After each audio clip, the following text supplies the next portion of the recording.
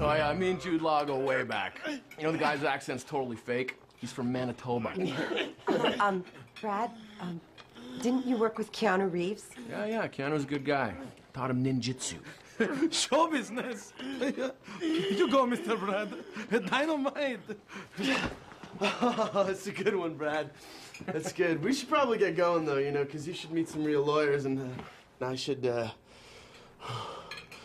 Was I talking?